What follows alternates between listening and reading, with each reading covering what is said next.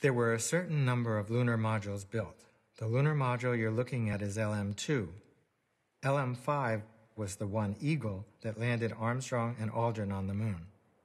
We're using this as a way to represent that event, and so we have configured it as closely as possible to how LM5 looked on the lunar surface. An Earth orbital test using LM1 was so successful that NASA decided they didn't need to launch LM2 into space. But its life wasn't over. Because NASA had no experience with landing, LM2 could be used for tests on Earth.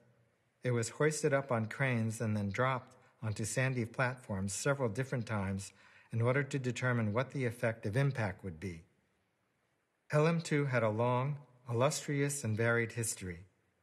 It was put on display in Japan in 1970, and in 1971 it was displayed at the Smithsonian Arts and Industries Building. It was brought to this museum in 1976, where we have continuously worked to make it resemble a lunar module on the moon.